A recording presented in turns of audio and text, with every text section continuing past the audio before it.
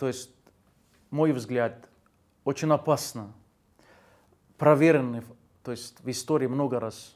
Очень много вот ударов получила Россия от Китая, от этих стран. Неадекватная страна. Я опасаюсь всегда Китай и, и, и азиатских стран. Э, в этом смысле, что, смотрите, они очень хитрые. Они свою выгоду всегда ищут очень сильно. Э, это так и все, например. Но здесь особенное отношение. Э, смотрите, ежедневный, ежемесячный, ежегодный торг между Китаем и Америкой, между Китаем и Европой, Западной Европой, является огромным в сравнении с Россией.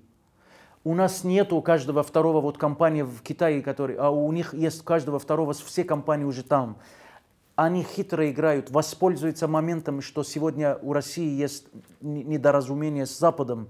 Они могут играть и, и, и такие подводные вот эти камни есть там. Поэтому очень аккуратно. Я думаю, Россия немножко спешила пойти подписать вынужденно, как будто есть слово, uh, есть desperate на английском.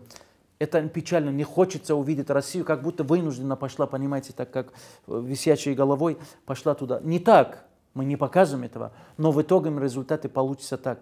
Аккуратно этим. Надо с умом это делать. И все азиатскими. Я не хочу называть некоторые страны, потому что Россия начинает дружить. Одно я могу сказать. Вспоминай Россию, вспомни. 50 лет, 100 лет назад, кто был твоим врагом?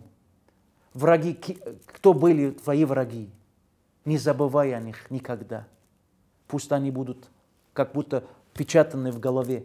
Да, мы прощаем, но вспомни всегда, память освежи.